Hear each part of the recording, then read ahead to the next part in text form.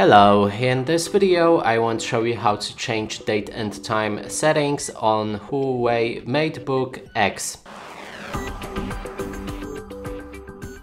To do this, first we'll need to open our start and then move to the settings. Inside we want to select time and language on the right. Now find date and time right here.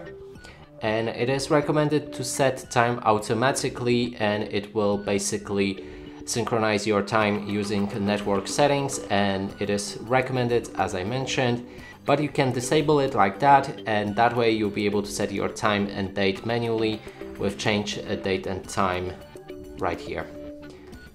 When you set your time make sure to click on continue and it should apply now. Next thing we can do is to change the time zone. You can click right here and choose whichever time zone you like and that is basically all of the settings regarding it. And that's it for this video, hope you like it, please consider subscribing to our channel, leave a like and a comment below.